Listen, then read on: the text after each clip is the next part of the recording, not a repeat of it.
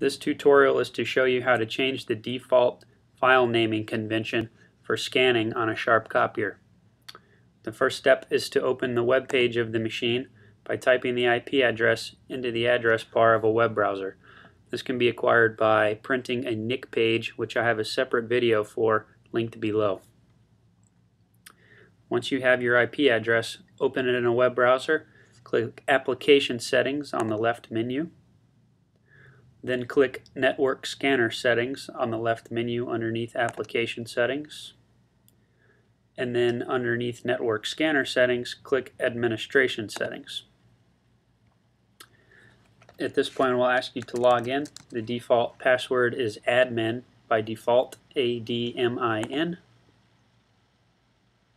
And this top section here is where you can choose how you'd like it to name your file.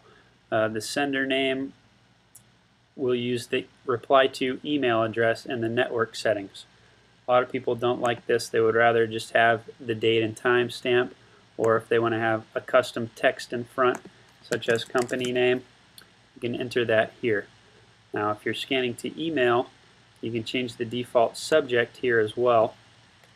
Scanned image from company name for instance and click submit. Once this is successfully processed, it will take place immediately in the machine.